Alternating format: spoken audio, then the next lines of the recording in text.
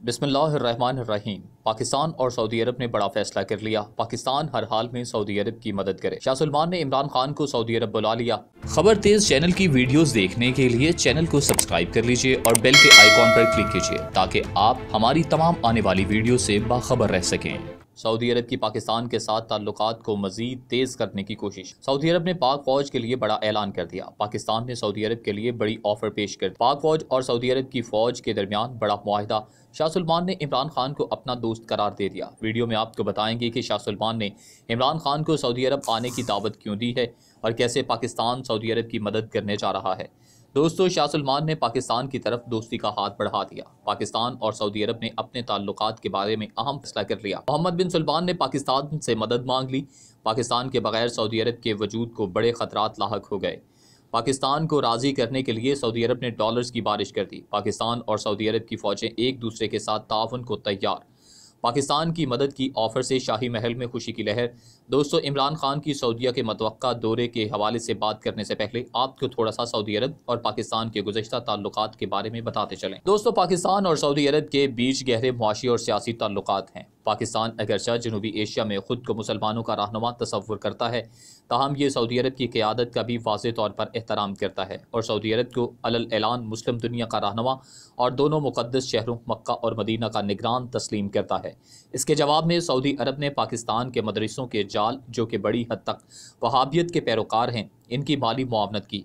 मुआशी लिहाज से सऊदी अरब तकरीबन हमेशा पाकिस्तान की माली मदद के लिए सामने आया है और पाकिस्तान ने तकरीबन कभी भी कर्जे वापस नहीं किए हैं। मिसाल के तौर पर 2018 में सऊदी अरब ने पाकिस्तान को इसके बैलेंस ऑफ़ पेमेंट के मसाइल से निमटने के लिए कई बिलियन डॉलर की इमदादी मनसूबे की मंजूरी दी थी, जिसमें से तीन बिलियन डॉलर फौरी तौर पर अदा कर दिए गए थे। पाकिस्तान सऊदी तेल पर भी बड़े पैमाने पर इन्हसार करता है।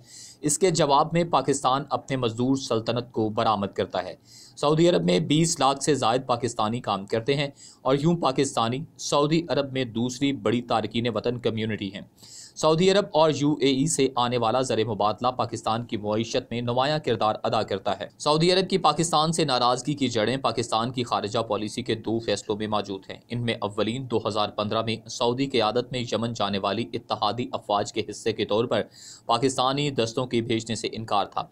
दूसरी वजह, पाकिस्तान के ईरान से मस्बत और मज़बूत तर्द होते ताल्लुक यमन में सऊदी की आदत में जारी जंग आलमी इंसानी बहरान बन चुका है, जबकि दूसरी जानब, कई मिलियन यमनी बाशिंदे बेघर हो चुके हैं, जबकि हज़ारों बच्चे भूख के हाथों जान की बाजी हार चुके हैं। महज पाँच बरस कबल, मार्च 2015 में सऊदी अरब ने यमन में हूसी बागी, जिन्हें ईरान की पुष्पनाही हासिल है। इनके खिलाफ जारहीत का आगाज़ किया था। जहाँ यू ए और दीगर खलीजी रियासतों ने सऊदी इतिहाद में शमूलियत इख्तियार की, वहीं पाकिस्तान ने गैर जानबदार रहने का फैसला किया। अगरचा सऊदी अरब ने यह बयान दिया था कि इसे इतिहाद के लिए पाकिस्तान सिपा की ज़रूरत नहीं है। ताहम सल्तनत और इसके साथ यू ए पाकिस्तान के इनकार पर बरहम थे। हती कि सऊदी अरब और यू ए दोनों ने पाकिस्तान के लिए मनफी, मुआशी और सियासी नतज का हवाला दिया था।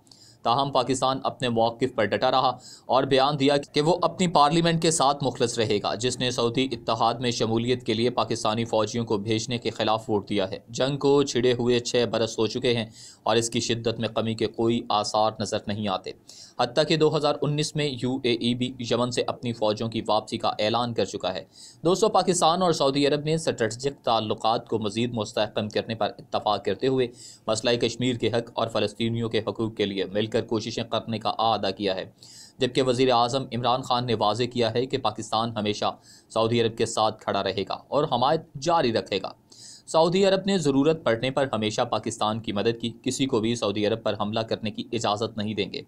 मुस्लिम उम्मा कश्मीरियों की जद्दोजहद आज़ादी की हमायत, हक खुद इरादियत के लिए किरदार अदा करे। दोस्तों, आपको याद होगा कि वज़ी अजम इमरान खान ने अपने पहले दौरे के दौरान आला सऊदी हुकाम और इस्लामी ताउन तंजीम के सेक्रेटरी जनरल से मुलाकातें की थी। सऊदी वज़ीर तोानाई खालिद अलफलाह और सदर सऊदी इन्वेस्टमेंट फंड और दीगर से मुलाकात के दौरान वज़ीर अजम इमरान खान के हमरा वज़ीर ख़जाना असद उमर, मुशीर तजारत अब्दुलरजाक दाऊद, सेक्रेटरी खारजा और सऊदी अरब में पाकिस्तान के सफ़ीर खान हशाम बिन सद्दीक भी मौजूद थे। मुलाकात मुलाकात में बाहमी दिलचस्पी के अमूर दो तरफा ताल्लुक तजारत सरमाकारी और इकतदी ताल्लुक के अमूर पर तबादला ख्याल किया गया। दोनों ममालिक के दरमियान तजारती रबते मजीद बेहतर करने पर भी गौर किया गया था। वजी अजम ने सऊदी क्यादत से सऊदी अरब में मकीम पाकिस्तानियों के मसाइल का मामला भी उठाया। मुलाकात के दौरान वजी अजम ने मसला कश्मीर और नहित कश्मीरी अवाम पर भारतीय मजालिम का मामला भी उठाया।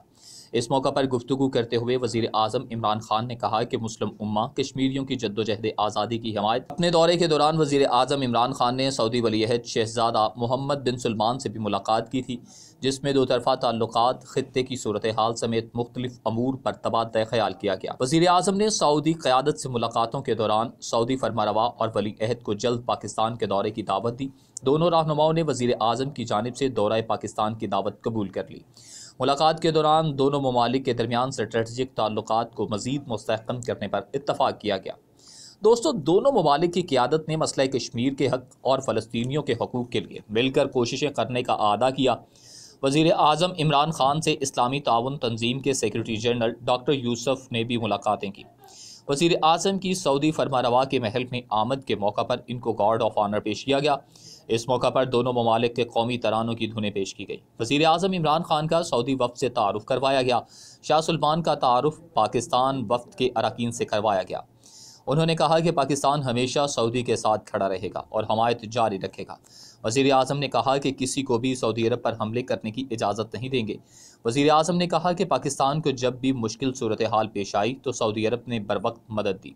इसीलिए पाकिस्तान में जो भी बरसर इकतदार आएगा, वो सबसे पहले सऊदी अरब का दौरा करेगा। वो सबसे पहले सऊदी अरब का दौरा करेगा। अपने दौरे के दौरान वज़ीर आज़म इमरान खान ने जद्दा में शाह फैसल महल में सऊदी अरब में मकीम पाकिस्तानी कम्यूनिटी के अरकान से खिताब करते हुए कहा कि ओवरसीज़ वजारत इस अंदाज में तश्कील दी जाएगी कि सही मानों में पाकिस्तानियों सरमाकारों और सरमाकारी की खदमत कर सके और इनके मसाइल हल करने की कोशिश करें। इमरान खान ने कहा कि ओवरसीज़ पाकिस्तानियों में बड़ी सलाहियत है और हम इनकी सलाहियतों से भरपूर फ़ायदा हासिल करेंगे। जब सऊदी सफ़ीरों और सऊदी वजी ख़ारजा ने भी हाथ खड़े कर दिए तो शाह सलमान के हुक्म पर अब शाही ख़ानदान के अफराद खुद पाकिस्तान का दौरा करने आ रहे हैं। इसी खुफिया दौरे के दौरान तीनों अरब ममालिक के रहनुमा इमरान खान और अली क़्यादत से मुलाकात करेंगे। मुमकिन ये भी है कि जहाँ वो पाकिस्तान में मज़ीद सरमाकारी करने का ऐलान करें, जो कि इस बात का सबूत होगा कि जो कि इस बात का सबूत होगा कि अरब कभी भी पाकिस्तान के बगैर नहीं रह सकते। अरबों की पाकिस्तान के साथ गुर्बतें कभी भी ख़त्म नहीं हो सकती। वज़ी अजम के दौरे के बाद सऊदी वज़ीर इतलात की जानब से जारी किए गए बयान में कहा गया कि पाकिस्तान के वज़ीर अजम इमरान खान ने सऊदी अरब से गैर मुल्की दौरों का आगाज़ किया। उन्होंने कहा कि इमरान खान की आमद सऊदी अरब की अहमियत की अक्कासी करती है। वज़ी इतलात अववाद सालह ने कहा कि इमरान खान का दौरा आलमी सतह पर सऊदी क्यादत की मुस्तकम पोजीशन उजागर करता है। बाद अजान वज़ी अजम इमरान खान सऊदी अरब का दौरा दो रोज़ा मुकम्मल करके अपने वक्त के हमरा रवाना हुए तो वज़ी इतलात अववाद सालह और मेयर जद्दा शहजादा Mishal bin Majid bin Abdul Aziz ने पाकिस्तान के वज़ी अजम इमरान खान को शाह अब्दुल अज़ीज़ हवाई अड्डे पर रुखसत किया।